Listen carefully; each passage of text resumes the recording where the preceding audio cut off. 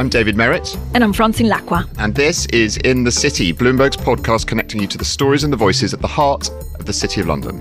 This week, a conversation with Luke Ellis, Chief Executive Officer of Man Group, the world's largest publicly listed hedge fund firm. Luke, thank you so much for coming in. It's great to be here. So, you're one of the most famous hedge fund chief executive, if not the hedge fundy, but actually, you have quite an interesting career path. Uh, I'm not sure whether famous is a is It's well, it's a definitely never thing. been a goal, and and I guess, but look, uh, given the public profile of man, it, it comes with the job, and you know, I think we should, as a firm, take a leadership position on stuff because that's the position we have as an ability to do that type of thing. My career, well, I I, I was one of those people who, from a very very early age, sort of love numbers and love patterns and I well I was having a conversation with my grandfather about horse race betting when I might have been 5 or 6 and sort of worked out that the bookies were making money all the time and said I'd like to do that. And he said well we like to say go and work in the city. So I just that was the point I knew I wanted to work in the city but I didn't really know what the different jobs were. And of course I'm old enough that this is pre-internet. So you know I I took the first job I could find working in the city, and things which wa- went from Which there. was what? it was with Nomura. It was as a graduate trainee. You know, our introductory speech was from the Japanese head of the office, who said, "The Bank of England tells me we need more white faces in the office. You're my white faces." And then he walked out. So you were the diverse hire. So we were the diverse hire. Now, I- I'm not going to claim that I have uh, suffered in diversity at all, but it, but it's just an interesting perspective of, you know, the journey we've all come on. And that's fascinating. And of course, back in that moment, Nomura in Japan was sort of a very dominant force in world uh, finance. It's now, amazing right? when you look back and think. So at the time, with one quarter's profit, Nomura could have bought Merrill Lynch or Goldman Sachs cash. I mean, there, there used to be an amazingly profitable business. Now, I will admit, I took the job without knowing it was a Japanese firm. Was there were three jobs? Sorry, you the- didn't know it was a Japanese. I didn't. there, there were again. It, it's it's like amazing. This You couldn't the- look it up on the internet, I suppose. Then. Eh? no, you couldn't. So so I went into the careers office, which was a room full of books, and said I wanted to work in the city. And they said there are the accounting jobs, and I'm like, no, no, I don't want to do accountants. And there were three books, I had three pamphlets about three jobs. I applied for the three jobs. The first one that offered me a job, I said thank you very much. A- As I was sitting outside, having sort of signing the documents, having said yes, please. That the, somebody said, "Are you looking forward to the three months in Tokyo?" And I looked slightly nonplussed, looked around, realized the decoration was a bit weird now you mention it. And anyway, I'd signed up to three months in Tokyo, which was a brilliant time. So Tokyo, then you know, one of the big financial capitals of the world, still an important place, but very different. Then tell us about arriving as a sort of trainee in Tokyo and what that felt like. That really was being othered. Japan still doesn't like immigration. Back then, they had absolutely none. Back then, they were masters of the world, and you know the Japanese equity market was worth. I can't remember what we got to twenty seven percent or something amazing of the global index, and you know it was sort of in the build up to the bit where the Imperial Palace was worth more than California in real estate value. It was that sort of amazing time in the mid eighties, and you know we we were tolerated rather than anything else. But it was a really interesting experience. Learned some Japanese, learned to understand the Japanese, which has been something that I've sort of leveraged off throughout my career, I guess. So, Luke, when you look back at that time, is it more surprising the the change, I guess, in Japanese finance that we've experienced over the last thirty years, thirty five years, or the change in the city of London? So, so the second, I mean, it was a classic bubble, and did I know when it was going to pop? No, but it didn't take very long to work out this didn't make sense, right? I mean, you know, I can't remember. There were all sorts of sort of things about, you know, but a pineapple cost more than, I don't know, whatever, not quite a car, but that sort of thing in the West. You know, it was all sort of like, okay, this doesn't make any sense. And the fact that that burst is not that so much of a surprise. And many of the things that are amazing about Japanese society is how little has changed. You know, the city here was so radically different back then to now. And you know, sort of obviously lots has changed in the UK, lots has changed in Europe, but the, the sort of, I think the city back then had a, many of the worst aspects of the UK. And somebody was talking to me the other day about, you know, do you think there's no racism in the city or no misogyny? And it's like, well, of course there is. But compared to a period where it was, you know, materially worse than the national average, I would say the city is now at least as good as the national average and probably better. What happened back then? Again, is it tied to banking culture more than the city of London? It's very hard to get one's head around how unglobal finance was back then.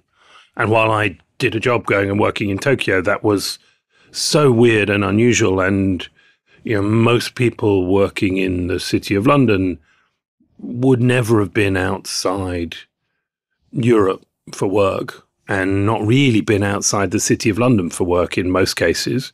You know, and what was going on in New York was very, very separate to what was going on in London. Yeah, because this is obviously before any of the big banks. As it goes, in, in the next couple of weeks, I'm about to be 60. So I'm, you know, this was a long time ago, but it, it was pre Big Bang, just before that. And, you know, it was, it was a different thing, but it, it, it was a very insular, insular environment, which had a mixture of a sort of, if you like, a posh part of UK society that, um, that, that look down on anything other than posh white men. And we used to have that thing about Barrow Boys, which somehow was, I mean, actually that got, that's one area which hasn't really got better. But, but, you know, back then, well, there was an awful lot of drinking. That was a very different thing in the culture going for at lunchtime, right? Yeah, yeah. I mean, going long. going for four or five pints at lunch was normal, not unusual, and still going back to your desk and working was. I mean, it's amazing when you look back at those things. It's a bit like sort of obviously everybody smoked in the. I mean, not every, but but all offices had people smoking everywhere and so on. But but it was really just the attitude about being unpleasant to you know pick whatever you know, if you weren't a posh white male, the world was unpleasant to you. And and Britain as a whole has changed obviously enormously in those times. And do you think the city has moved along with British society or is still lagging behind? You said there are still some issues here. How do you see the landscape today in terms of how people deal with these very British problems about class and uh, looking down noses on people with with less money? I mean, is it, how are we doing now here in the city? So, so I think it's gone from being materially worse than the UK to being at least as good, and I would say probably better in a number of aspects. So there is one thing in the city which, you know, by the nature of dealing with money all day, every day, it's pretty impossible to have a totally balanced attitude to money. Right. And right, it's not normal, you know, right? It's not an average yeah, thing and, You know, you move billions and trillions of dollars, pounds, yen, whatever, every day, every whatever. It's it's quite hard to to to not say some things to do with money which sound weird in any other context. But but I think the the general thing of the culture has has really come a huge long way. And there's lots more we can do, absolutely. But you know, and but there's lots more we can do in society, if you see what I mean. But I, I, I think we you know, it is it is a healthy place today, and you know, sort of yes, but we should all keep working on trying to make it an even better place if we can, open to as many people as possible, because the the whole point about the city is it is an intellectual boiling pot, right? I mean, it's about getting as much IQ together into uh, yes, an individual, but then into a room, and then into a building, and then into the whole city. And you know, it's it is the dynamics of having all of this IQ bumping into each other. But you need diverse thinking in order to make that uh, you know a benefit. It's it's that you know it's like one of the favorite expressions in the city is where there's no you know the only thing that's a free like a free lunch is diversity, is diversification, right? In a portfolio, You know, you diversify and that gets you improved returns, less risk. Every every type of thing in finance is about diversification. And it applies just as much in people. If you have 10 people who are incredibly smart, but all have exactly the same background in different forms, they're not going to be much cleverer than one person. Maybe they'll be better than one, but they're not going to be better than five people or probably not better than two. You get people who've got a different perspective. The collective is much smarter. Because that's how you get away from groupthink. But how do you, and, and you've really championed, right, diversity in the workforce through indices and initiatives at Man. How difficult is it to recruit diversely? Recruiting diversely for people coming in at the graduate master's level it's not that hard, right? You, you have to you have to have an attitude shift, and once you have an attitude shift, it's really not that hard. At that level, you know, there is a lot of people, and if you start by not saying what school did you go to and what college at Oxford are you at, but try and actually look at the individual person's uh, capabilities and achievements and so on, you know, I, I yeah, I, I think it's easy to hire in at the graduate level in a in a truly diverse way. That the challenge is as you move up through the organization that you know so mm, our senior leadership so that's sort of one level down from me and one level below that. So it's a it's a big cohort. It's sort of a couple of hundred people. And we are in the kind of sort of high 20% for gender diversity there.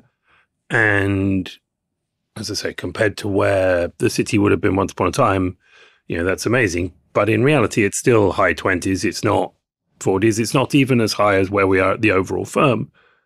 And it's hard moving the dial. And, and sort of even as you dig into that, you know, funnily enough, in the people talent side of our business, we have more senior female leaders than we do in the investment side of the business. And you sort of think, ah, but of course, the average person leading one of our investment teams has been doing it for 30 years. You know, and so that, that, that bit of the funnel that came in means it's easy to do the right things about sort of senior positions, but it's hard to move the dial a long way. Is, is that the only reason, though, time, or are there other barriers still, meaning women aren't progressing up to the top ranks of big city firms? Are there still some cultural um, hurdles that we need to unpack? So, so I mean, like I'm, I'm definitely sure that the dominant thing is the pipeline problem, but you know, it's not just how it was 30 years. You know, 15 years ago, people still used to celebrate the shouty, aggressive trading floor idea, right? That was the, you know, and still, frankly, you see, you know, what the BBC did a program about the city and it's, you know, still got shouting dealing floors and you know a sort of machismo and you know it sort of heroes women who are more machismo than you know and and that puts lots of people off put lots of people off in the past. I mean if you come on our dealing floor you know we trade as you know a lot and is there much shouting? None. No. but, but i mean like none the the people complain it's too loud, but that's just people talking. Well, apart from me, we, have, we have the same voice. in the newsroom. Yeah, people talk too so much. So it's not a prerequisite for success having that kind of. Shouting. No, not at all. No. And the and and yeah, but but the the first is broadening the pipeline of people coming in. The second is then making sure that you don't sort of celebrate the wrong type of culture, and that's where management comes in, and and you know that is where the good leaders are making a real difference, and some places not so much. And you know, we could think of the coming back from COVID, and some firms tried to make a sort of look at us. You know, we're the first ones back in the office. We've told everybody they have to be at their desk every day, and you're like, okay, but you didn't a, do that. No, because it's a dumb way to manage no. people. Yeah. In in you know, if you want to get the best out of people, telling them they all have to conform to some rule you learned 40 years ago is pretty dumb, honestly. And so, you know, what we try to do is to find the working process that gets the best out of each person And so we've got people who are in the office five days a week from early to late, and we've got people who are, you know, dotted all over the country and frankly the continent mm, don't come to the office very much. But that's how we get the best out of those people. Uh, Luke, is that out of personal experience? So you left the city, right, at some point. Yeah. Why why did you leave and why did you come back? First point of earning money is so you can afford to live. And that is incredibly important. And we know there's an enormous number of people in this country and beyond who are struggling with just that every day, and especially now at the moment. You get get there. The second stage is in order to, you know, have enough that you can look after your family and, you know, savings and and then at some point you you, you have enough money that the money is supposed to create choices. And it's amazing how many people get caught up in, well, I just want more money, which is a choice. Doesn't seem a terribly brilliant choice, but it's a choice. And there are some people where, you know, have done amazing things because they're driven purely by finance as a motive.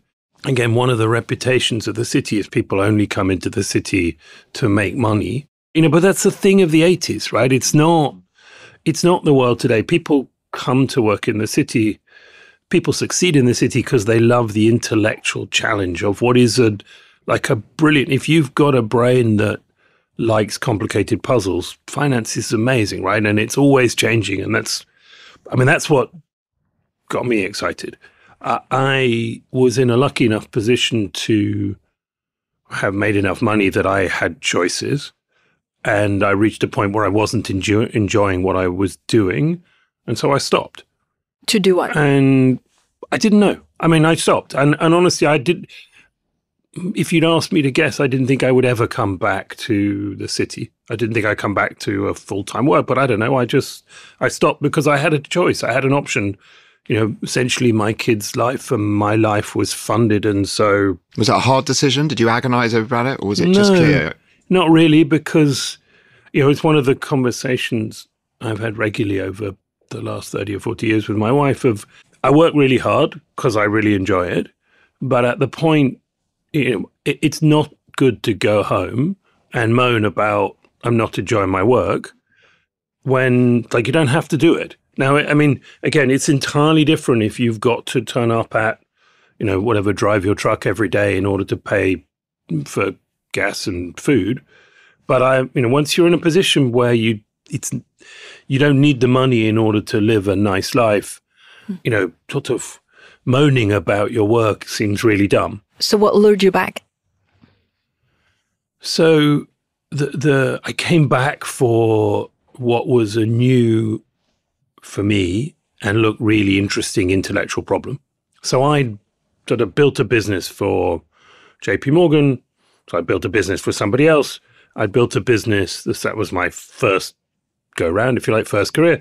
Second career was to build a business with a partner, so for ourselves. And I didn't have an urge to do either of those things again. And what drew me back was so it was the time where man merged with GLG, bought GLG, however one wants to describe it. And I could see that this was a very complicated mess that they were creating. And the thought of how do you turn around a mess somebody else has created. I'd never done that, and it looked like a really interesting intellectual problem, and it's been a really interesting intellectual problem. And touch wood, That's we'll not find out. necessarily, you know, what draws most people to cleaning up other people's mess. I mean, I'm fascinated by that. You know what? And you just because you, you could you see the opportunity through the mess of what you might be able to build at the end of it. No, honestly. I mean, that part of what made it really interesting was I could see the problems. And at the time, it wasn't at all clear whether there was a path through the mess. Whether, but that's, I, I like complicated puzzles, if you like. And this was a people and, you know, finance and whatever puzzle. And that, that was, that is like a really, I mean, to me, that, that was like an irresistible that's what brought me back. It was just an irresistible puzzle, and it I'm- has I'm- been. Fascinated by that, and, and we often in the newsroom talk about, you know, Deutsche Bank went through four chief executives. Credit Suisse is the same. Like, what draws people to difficult jobs? Can you can you point to I guess, characteristics in in people that you want to hire that make them succeed? Is it is it the intellect? Is it the the drive? Is it that fire in the belly? Like what makes a good employee? The definition of believing in diversity is that there isn't a thing that makes a good employee. Right? That that is exactly part of the bit is you, you can't look at everybody on the basis of are they the best person for this thing right now? The the big leap in mindset is three years forward. Uh, you could pick a longer die, but three years is sort of my attention span. So th- three years forward, is this team going to be better for that person being part of it? And because if you start by, you know, okay, Fred's left, I need to replace Fred. Who are the candidates that I can hire today who are the most suited for Fred's job today? And I say Fred on purpose. The answer is you're going to hire somebody who looks and sounds like Fred. You're going to hire exactly in the image of the person who left. You do that, you're never going to improve the diversity of thinking in the firm. If, on the other hand, you go, okay, Fred's left, that's life, but we now have a chance to bring other skills into this team, you know, we'll accept a sort of some J curve effect where we may not get the perfect fit for the immediate problem exactly today. But if three years from now we can bring somebody in that makes the team better, the you know, you can get much more out of that than and, and so then you get to thinking about, okay, I want somebody who thinks differently, who's got a different you know, because they actually help the thought process. So you can pivot, in fact, a whole business or a whole team's work around that person. You've mentioned puzzles a few times, sort of fitting pieces together, but this kind of question of diversity and who you bring in and the skills, it's about reconfiguring the pieces, isn't it? All around them, not necessarily fitting someone in. yes. I mean, yeah, that's that's a very good way of saying it. And look, the, the sort of, if you like, the the the bit everybody sees, the bit Bloomberg celebrates of our job is the financial puzzles.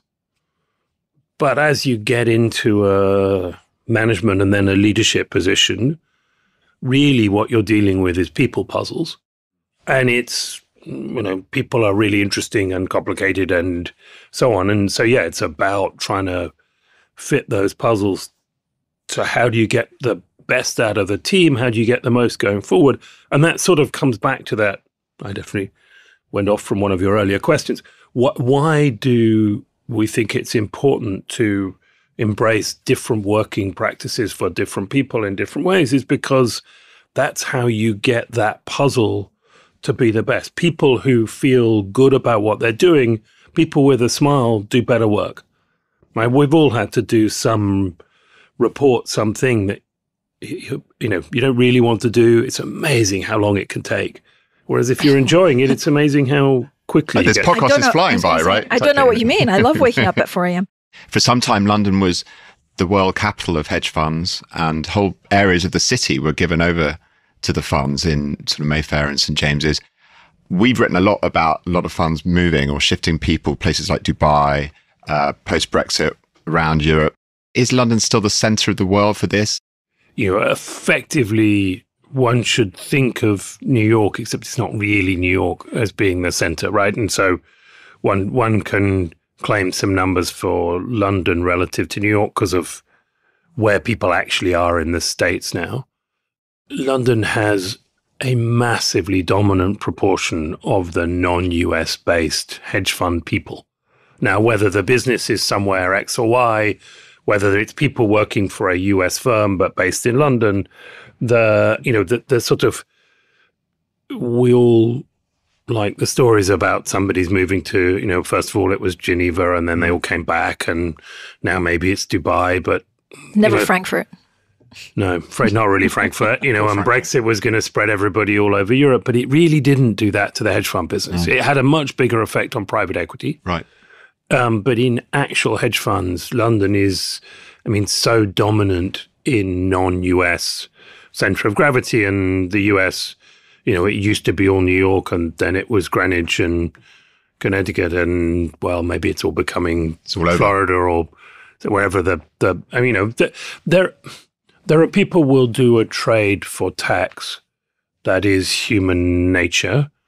I would say, you know, the the, the trade off between there's a different trade off between New York and Florida than it is between London and Dubai. And even if the tax pickup is really a lot, it's not very it's an expensive trade. Luke, if you still think that London's a good home for hedge fundies, are you finding the right talent? Like, what's your biggest concern actually on diversity, employees, and actually keeping them here and happy?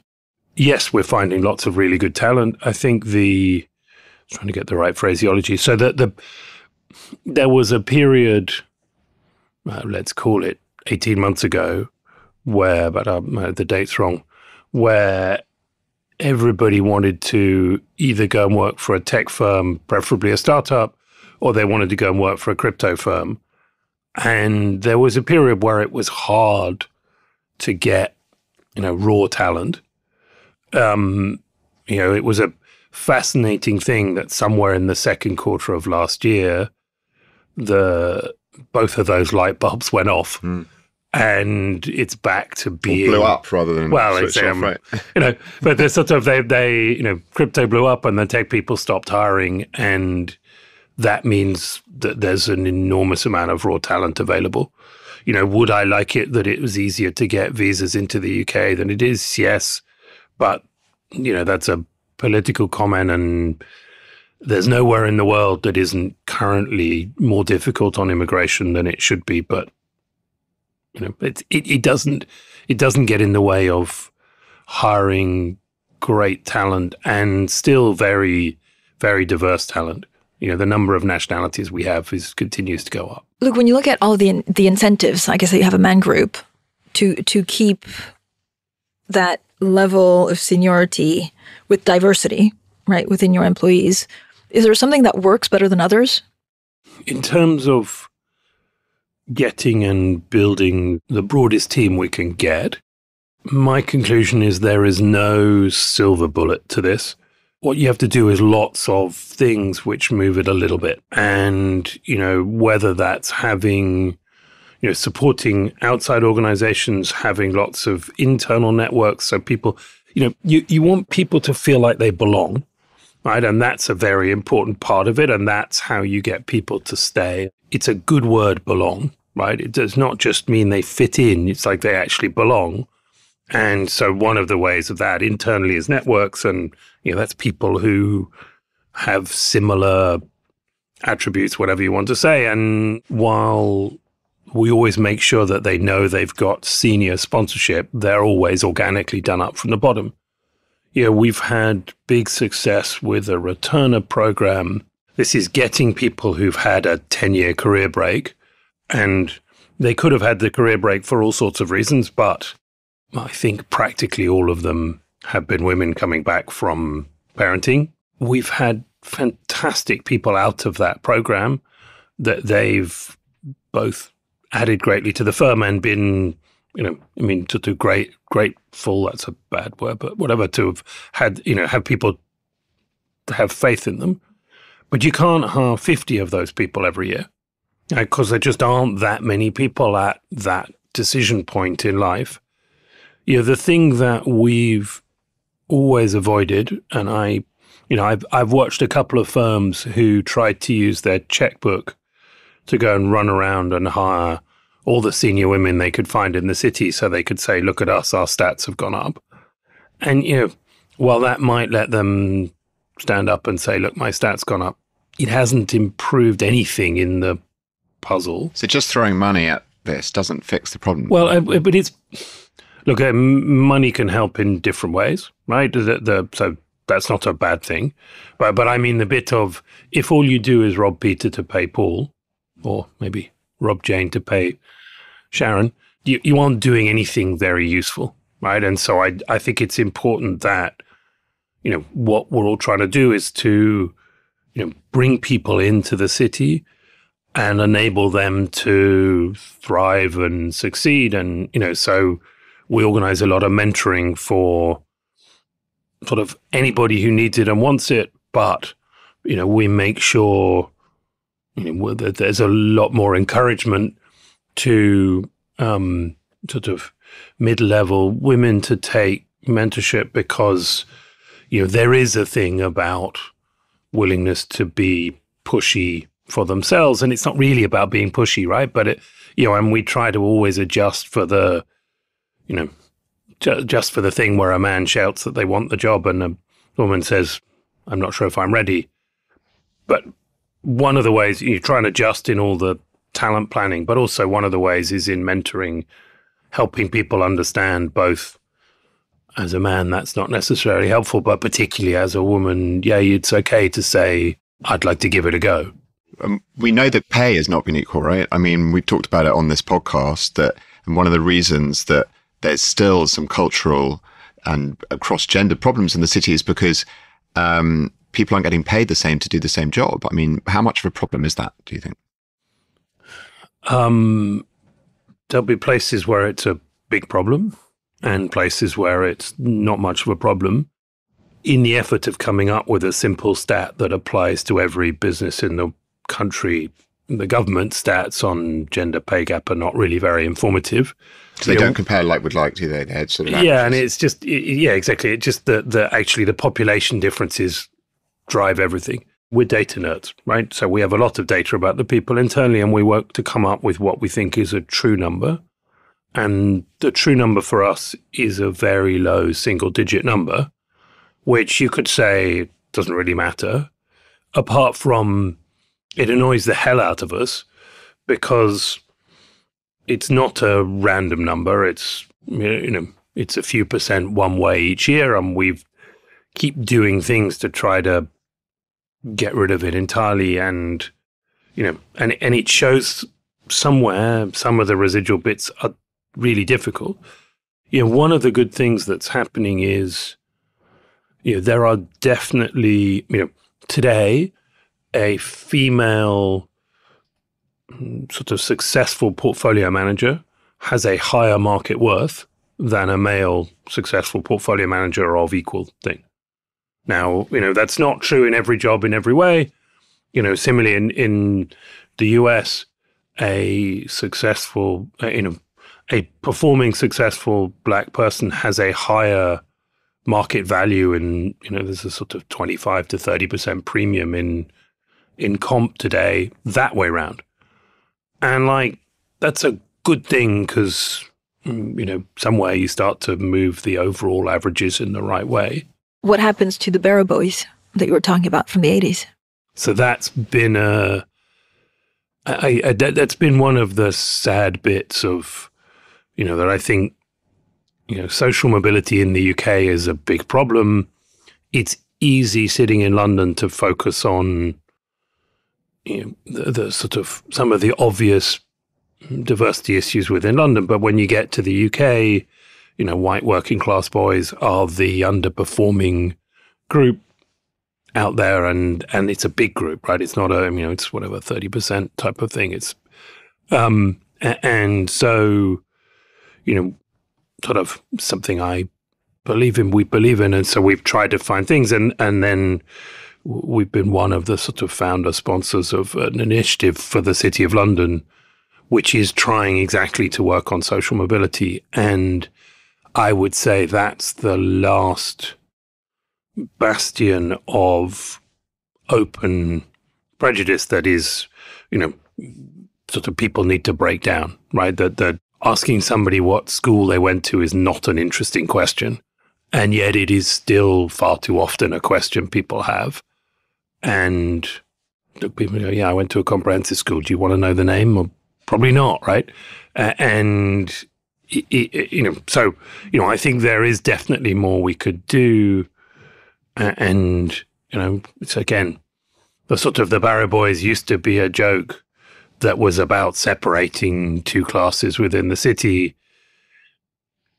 The joke may have gone, but, you know, that there's further we can go on that. Luke, thank you so much. Been a real pleasure.